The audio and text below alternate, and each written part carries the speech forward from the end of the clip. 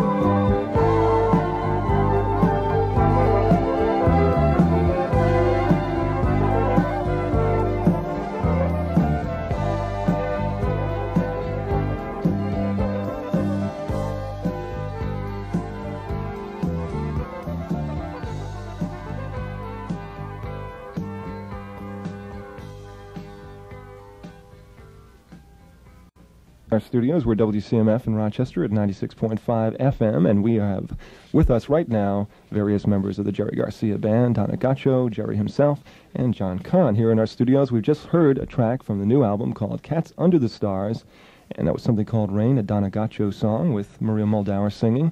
No, Donna singing. Just oh, I'm sorry. Was it? Yes. My, boy, I feel bad right now. No. It sounded a lot like her. Maybe I should have put my headphones on all the way. anyway, we were discussing different things when we were sitting in here while the commercials were being played. And one of the things that I've noticed about different bands around the dead and all the different solo careers and such, it seems that many different bands that have been around for quite a long time don't seem to keep the younger kids. Okay, the Uh-huh, band gets sure. older and the audience stays with them, but it seems with the dead, just talking to kids in town, that they're still into it, and it amazes me. Like 16-year-old kids, when you guys started, it wasn't, you know, these they weren't even listening to radio probably. Right. What do you attribute uh, such things to? Well, we've been sort of lucky in having a sort of a, a very spotty record career. Uh, insofar as we've never had any real big hits or uh, you know Singles, quadruple anyway. platinum records or any of that stuff. Yeah, we've got a handful of gold records here and there, but uh, we've been our audience. I think is not there to hear us perform our albums. They're there to hear us uh, do whatever we do, and it, it, typically at a show, there are people who request, you know, a few like old favorites or whatever, uh, and stuff like that. But uh, we never get, you know, gales of booing if we don't do do that stuff. We've always felt very free to do whatever we want to do, because it seems as though the audience is encouraging us in that direction. You know, so it, it works out well for us because the audience is dynamic, and they're uh, they're they they're accepting of anything that we want to try. And I think that really a, a concert for me, a performance is. Uh, I like to go to a performance and be moved.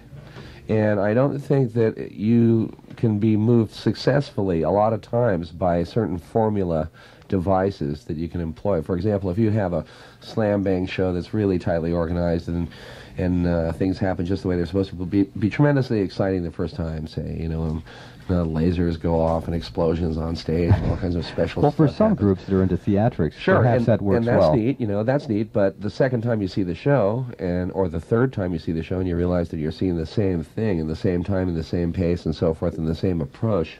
Generally, I think that that ultimately gets to be dull, and that an, that an audience doesn't really want to spend money to go back to that And much less follow that band all over the country. Yeah. So right. when you take the stage as a group, do you have any songs in mind, or do you go, "Hey, let's do"? Uh, Right, that's it. We don't know what we're going to do.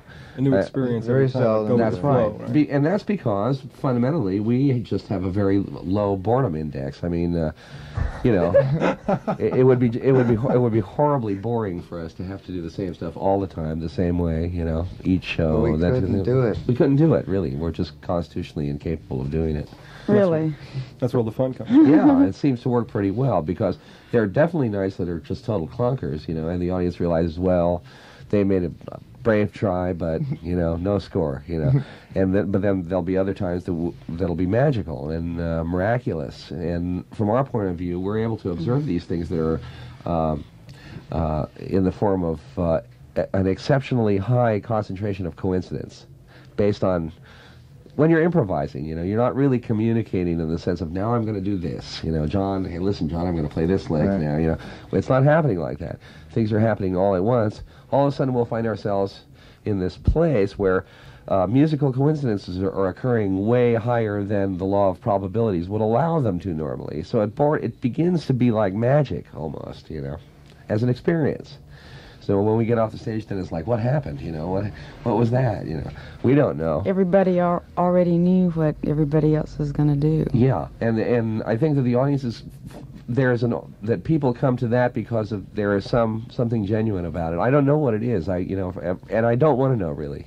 You know, I like the idea that it's a mysterious thing, and that it's uh, uh, something that people require. I, th- I think and the fact that we have the audiences that we do have indicates to us that yeah we're being encouraged in this kind of this approach to music. You know. So you're playing off uh, each other. Is has that in the that has something to moment, and the audience is, of course, participating. You know, I mean, they're involved sure. as well. You know, they're they're right They're, there with yeah, us. you know. they're, yeah, they're we're reacting to them. They're reacting to us. It's all uh, a whole harmonic situation. What's it like on those nights when you realize that all of a sudden there's some sort of great rapport between the audience? Oh, it's real special. I mean, does, it, does it, come across to everybody in the group? Can Uh, just feel when it does come across to everybody in the group, it's one of those things. It makes it makes it possible for you to do 40 bad gigs, you know, that are just terrible, eh, in the hopes of having that one that's special. The special one is so special, you know, that it keeps. Well, it's it's kept us doing this thing, pursuing these ideas all these years, you know. Without trying to uh, box you into a corner here, Oh, go ahead. a few favorite like moments like that, You concerts the over the years, as far back as you want to go. You know, like, any that you've had. I don't. Uh, it's not for me. It's not a linear thing. In other words, I can't. Uh, you, you're not in a position when you're playing sh- live shows. You're not in a position to compare yourself to your former self. In other words, say we had a great show last year, you know, uh, and then the last show that we did was just a clunker. Well, the feeling is everything that we've ever done added up to this clunker, and there's really just no point in even living. You know, it's just all But- you know, it's yeah, all added up at, to a at bummer. the same you know. time, we don't know as well as a, a lot of times we don't really know very much about whether we were good or that's not. That's true. Some, and that's yeah. the God's truth. I I've heard, played gigs where I was mad. You know, I left it mad, and then later heard like a tape, of, and it sounded great. right, Or the opposite. right. Uh, there- there It's it's it's hard for us to know what we're we get too crazy to really know whether it's good Yeah, or there, not. there are levels of uncertainty. They're they're very hard to account for. That thing that John just described is a very real thing. I mean, there are times when you just feel like, uh, God, I, I never, I couldn't quite get together all night. You know, I felt like my guitar was a little out of tune, it didn't sound right, and everything was funny. I thought the grooves were weird and things were funny. And then you hear a tape and it just sounds wonderful. You know, the audience response is incredible. You know, for some reason you can't figure out what the heck is it, what is it that's making that happen. So for us, that provides a, a certain kind of proof, in a way, empirically, that there is a certain level of something that happens that we're not really responsible for. You know, we're not out there with our wills, you know, saying, you know, do this, you know, do that, you know, this music is now going to have this kind of emotional effect on the audience. You know, a lot of times it's completely out of our hands in a, in a very interesting way. You know, and, and, and being in this uh, situation where we're exposed to a high energy environment all the time and this uh, testing situation, you know, we, it's happened often enough for us to know that there is something special about it, even though we don't know what it is or why or anything else about it, really, mechanically. We're just aware of it because of our own ability to, to test it, you know. Well, a Jerry Garcia band concert is an event to people too, to everybody in the audience. You know, they haven't seen those other shows. You know, where it might be, eh, eh, right? Yeah. Well, no, an awful lot of them have, though. That's an true. That's thing. true. Your Uh, groups, people follow you all around the country. I know. yeah, and there are people who come and they really, they really do. They uh, pay close attention, and they're following. What they are following is a dynamic progress. You know what I mean? Rather than a show, and they're, they're not coming to see the same show. They know that it's not going to be the same. You know, and uh, that's one of the things that keeps them interested, just as as it keeps us interested. The same sort of uh, thing applies. Mm, The, and they're willing to listen to some songs that aren't real great. And come back again. yeah. We have a song up next here that, that you co-wrote, John. I believe. Is I wrote the mu- the uh, music part, and Let me ask Hunter you, wrote be- the words. Before we melody get into the part. song, how do you work with Robert Hunter? Now, Robert Hunter is your lyricist. How do you get Yeah. together with him? How do you fit the music that you write to the words that Robert Hunter puts to the music? I mean, do you come together in a room or? No. Yeah, we do, we do it all At different rehearsal ways. a lot of different times. ways. Sometimes the Garcia will have like pages of words and write music to that, or sometimes we'll write music that doesn't have words and give that to him. So it goes different directions. Yeah, So there's no specific style of working together. Right, there's all kinds of fine-tuning uh, possibilities. Sometimes I have, I'll have an idea which includes vocal phrasing, for example, right. and I'll uh, sing the phrasing to Hunter, and he'll, uh, he'll, you know, then work, develop a whole series of ideas based on the phrasing, and I'll go through and edit, you know, and it just we work very freely together, in all different ways. For instance, edit uh, eight typewritten pages of Terrapin Station words into what eventually got on Terrapin Station. Right. Do you all still work together and live together as a close knit family, or is it sort of fragmented a bit? Well, there's We too many of us to really anymore. live together. That's Yeah. not really possible. As econo- also economically, I mean, California they don't really let you do that anymore. Uh-huh. You know, they have laws about how many people you can have that aren't related living under the same roof. How many can you? They do? Yeah, they do. Oh. They did that back when people were lots of people were living in one house. Oh, they actually dealt with that. I never knew that. Yeah, they That's actually nothing. did that. I thought everybody took it upon themselves that it was too crazy or And something. basically, we all have our own scenes and families and so forth and uh, whatever, you know. So it's uh, we're all we all are uh, live near each other and we hang out an awful lot together. And I would say that if you had to divide our hours up, that that we in terms of life hours, that we probably live together Yeah. in terms of spending more hours together than we do live anywhere else. You know. For instance, we can be playing at um, a place called Keystone in Berkeley, and having been working on a record or whatnot for days and days and days, and I walk in and Jerry and I just immediately crack up, you know, and he says, "Long time no see." yeah, right. It gets to be pretty silly at times. At the end of the album, I remember we saw the sun come up four times through that little slit Right. in the ceiling. right. Without ever leaving the room, you know, the room that we were working in. Mm-hmm. So we and you know I mean we we've chosen to work that way. Just you know I don't know why. Just uh, mainly because we, We can't didn't really we don't choose fit to. We very just well. did. It Yeah, wasn't. I Do you don't have one of uh, do do that. you have one of these uh, studio setups of your own now, like where you can go and just lock yourself in a room and, and work for days straight if you want Right. to? This Betcha. record is the first record from Months. that studio. you know, months in this case. You're right. this record is the first thing from that uh, studio, which is uh, uh, was partly funded, partly uh, built from uh, the uh, uh, budget that I was allowed to make this record. And uh, it's quite well equipped. It has uh, um, a really nice Neve console from uh, England and a Studer 16-track uh, Swiss machine, and, and really, and it's an excellent sounding room. It's a very large room, and it really sounds very pretty. You know, it has very pretty vocal sound, very pretty instrumental sound. And this is the first record uh, made in there, so, and we're really delighted with the results. We're real happy. To get back to the song here, here, is a song that was co-written by John Kahn. John, why don't you give it a, a brief introduction and then we'll play the song. Well, it's like a reggae song, sort of. It's influenced by reggae music, which I happen to love a whole lot.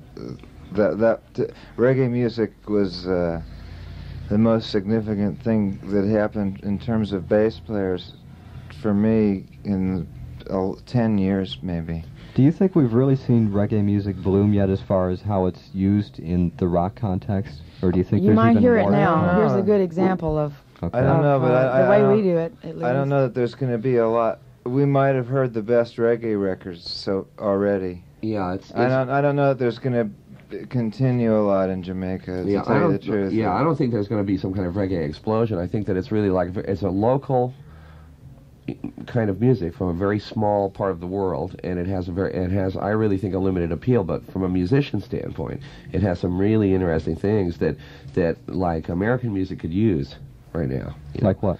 uh, a, a rhythmic feeling, uh, a whole approach to rhythm that has to do with like standing on the rhythm in a certain way. And, the, and my, my, the easiest way I can relate to it is to figure about 93 degrees with about 100% humidity, you know, in the middle of summer, just going real slow, you know. And it has this a steadiness to it that comes from that that kind of island life, like the surf, you know and uh, all those things. And it, and uh, and and the thing about the bass playing, like John was saying, the the sense of the rhythmic. The, the holes, the space is having rhythmic value in the same sense that in a positive negative image sense, you know what I mean? So the holes have the same kind of rhythmic value that the that the notes do, which gives it a tremendous power and uh, a really kind of a, lo- real lovely rhythmic thing, you know. And, and, you know, and, and as a bass player, uh, a long time ago, a, a lot of, especially like rhythm and blues records, like I'm thinking of like old Motown records and stuff like that. The bass line was really one of the more important elements of the song. It was like a counterpoint to the vocal. And those were the most basic elements of that music, and, and the drums too. Uh, music has gotten away from that now. music gotten away from music that's designed to also listen to and also dance at the same time too? No, there's no disco music is for listening and dancing, but I'm talking about music that is is uh, directly related to the bass line. It's something that sort of died out in America, and uh, it's it's an element of reggae music. Needless to say, as a bass player, it appeals a lot to me. All right. Let's listen to it. The new album, Cats Under the Stars, the Jerry Garcia Band. This is Love in the Afternoon. And we're back in our studios here. Oh, sorry. Oh my God. And we did not hear a song called Love in the Afternoon. Actually, we heard something called Palm Sunday Yes, featuring Dave did. Bergen on harp. Dave Bergen. Does a very nice job. And uh, we're just keeping you on your toes here at CMF. That's a Does It Sound Like Reggae contest. And there's no winners or losers, but uh, that, by the way, was a Garcia Hunter composition. And now we're going to go back into the tune that we were talking about Love in the Afternoon, a Kahn Hunter composition. And here it is this time.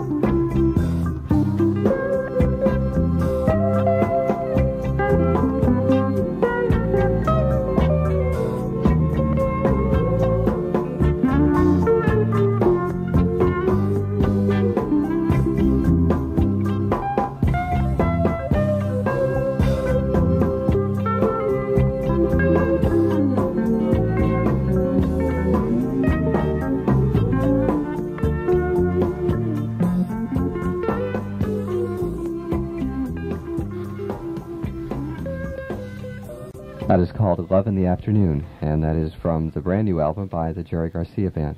Jerry, what do you think about stuff like uh, Elvis Costello's Watching the Detectives merge in reggae and rock? Uh, I like it. Yeah? Yeah, I like it. I like you Elvis? Costello. Yeah, Oh, yeah. I haven't heard it. Some of that stuff I really like a lot. Uh, the so-called new wave music. you Yeah, what do you like? Uh, what I like, well, I, I really like that that uh, band Cheap Trick. Hmm I like They're them a great. lot. They're great. Yeah, I think they're really great. And, and I just what I, what I like about it uh, is uh, the spirit, you know. And yeah, uh, exactly. I mean, the, the guy, the, the guys are putting harder. out. You know, they're putting out and trying hard. Like uh, the whole American heavy-duty production trip, the L.A. trip, the slickness. You know, the, the you know the glib slickness of all the It's all gone. produced- Well, it's it, it's gotten to be so mechanical and so predictable and so safe. You know, from a musical Well, standpoint. let's put let's put some strings here. Uh, and, yeah, you know, it's very, it's a formula trip. It's almost a formula trip. So this this other music is real raw and real nasty, and the and the players are not very good. But the spirit there, the you know, the spirit there is something I think that uh, uh, young people can always dig. That you know, it it, it you know, it's Well, uh, it It seems bad. like when you- That's can you Well, that, I dig it. You know, I mean, I I'm not deep, young anymore, really.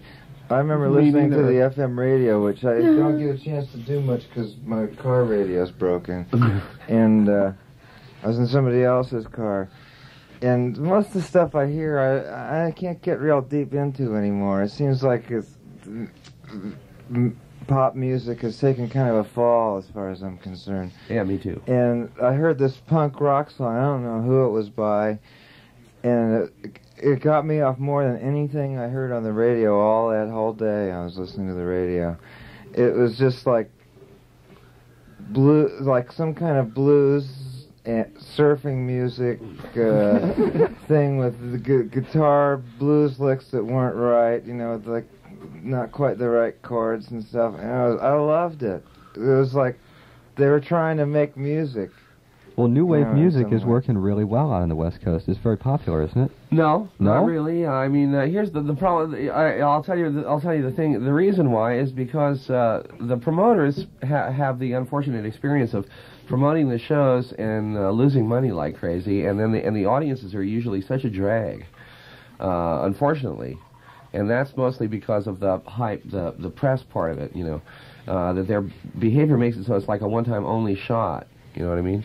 Uh, in other words, you know, the uh, for example, like Bill Graham would put on the Sex Pistols, uh, although they're disbanded now, and would put on one show. But after that one show, he just he just said, "Never again. I'm just not going to do it again. I'm not going to expose uh, my own people, the people that work for him." I to- saw Bill Graham. I think it was on the Tomorrow Show, and he was with a member of the Jam, and he was saying, you know, I really respect your music, but as a promoter, I don't know if this is going to work too well. Well, it was Yes, there- there are some- it some was set problems up. to it, It yeah. was set up by the press before anybody ever even heard it. Yeah, I think that I was read about that about stuff it. before I ever heard Yeah, it. that was what's, what was unfortunate. People go there expecting to get crazed.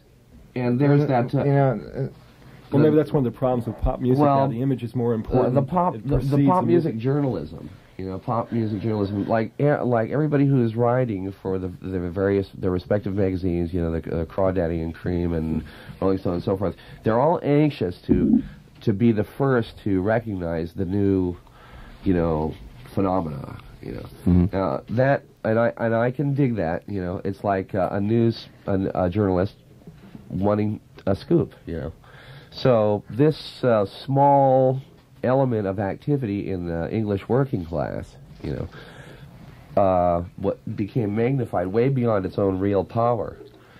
Uh, you know, to deliver. It seems like perhaps it started in England. It was really raw and rough, and now Yeah. a lot of the a lot of the more talented people, say in this country and in Britain, have taken sort of the values within the new wave music and redefined it. That's and right. It's coming out into stuff like Elvis Costello, Sure. which is, sounds like sort of good R and B. Yeah, But if you listen to the words, I it's think what I think, a lot I think they're going to be involved in a matter of progression as well. In other words, a player is going to those players, the guitar player, the singer, and so forth. They're going to listen to their record, you know, and say that well, the next record, I think I would, I'd like to play a little bit better on the next record. You know, You know hopefully, I mean? really, yeah. it's uh, one of those things that's hard to avoid. I mean, when you're a performer, you really your instincts, uh, regardless of what your act is, your instincts are to try to be uh, a little bit better, unless there's something really funny about you, you know.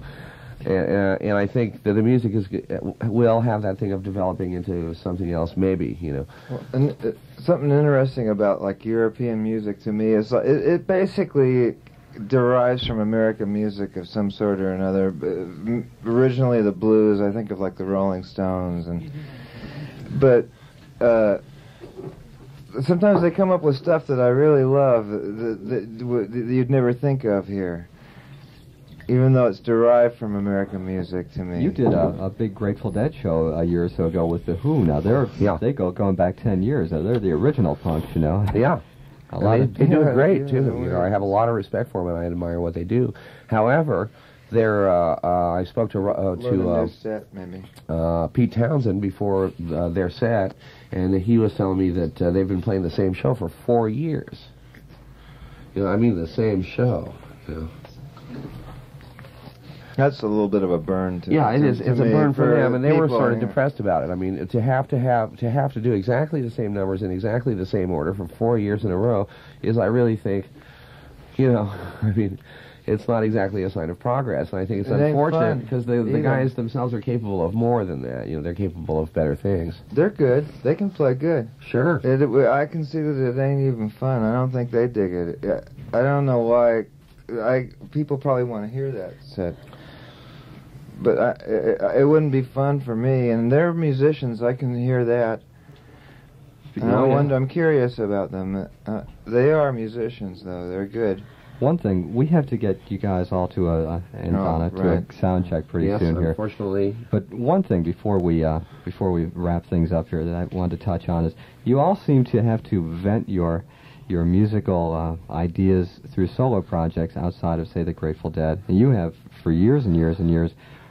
That must be a very important part Well, it's an illusion, really. I mean, the illusion is Or that they're solo projects when they're really not solo projects. Like what we do in this band is no solo project. It's something that's really a group contribution, and believe me, it's not.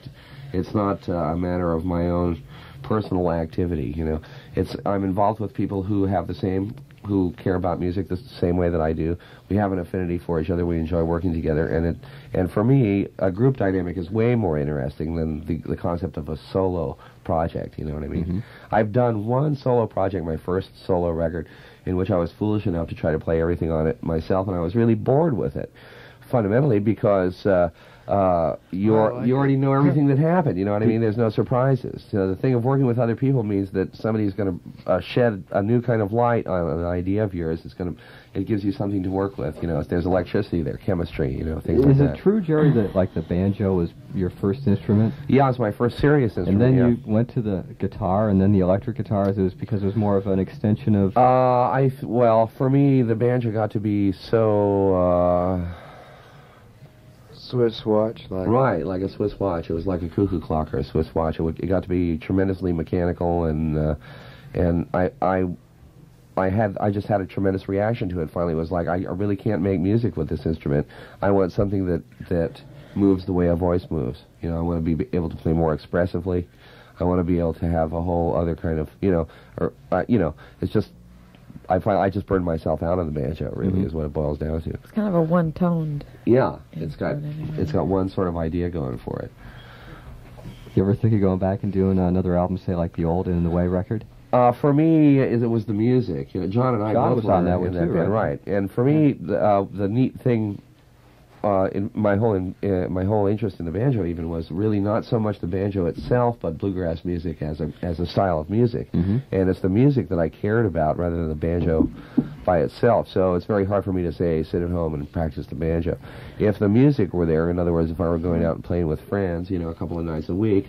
I could get into it, but really the music matters to me more than the banjo does. Yeah, really, it's a beautiful kind of music. It is. It's really But neat you know, music. I couldn't see practicing that either. No, no. I- no. Jerry doesn't think he plays the banjo or the steel guitar. Or, well, we're all crazy like that. yeah, That's normal. he's, he's talking about his first record. My four-year-old listens to it three or four times a day. I like that too. Mm. Lots Pure of, luck. lots of different aspects to your music, for sure. Thanks. I remember going in when and watching you. you play bass on that. It was funny. Oh, I jeez, that was it. embarrassing. No, I, I dug God. We should probably wrap things up here because you do have to go do a sound check. Okay. But you're going to be on stage tonight, starting around 7:30, in the Auditorium Theater, the Jerry Garcia Band, featuring Donna Godchaux, Jerry Garcia, John Kahn, Buzz Buchanan, Keith Maria, Godchaux. Keith. You'll all be there. Singing with Maria is tonight? great too. For me, I haven't gotten to sing with Yeah, we girls should, in a we long should, time. We s- should stress that point that Maria is part of the band. Yes. Yes. Okay. 7:30 tonight at the Auditorium Theater. Thank you so much for stopping Really. down here and talking to us here on CMF this afternoon. Thanks for Thanks putting up for with tolerating We've got one more song Really? here. We've got one more song. Yeah, this Jerry, is this about, is one uh, that you co-wrote, so yeah, we'll let you let, introduce let me tell you this, about it. and Let I'll me tell you about it. This is this is about uh, uh, uh, I don't know. This is an Old Testament song, and, and everybody knows about Sodom and Gomorrah. You know Sodom and Gomorrah, and uh, this song is about Gomorrah. Everybody knows about Sodom. Nobody knows much about Gomorrah. This song is about Gomorrah.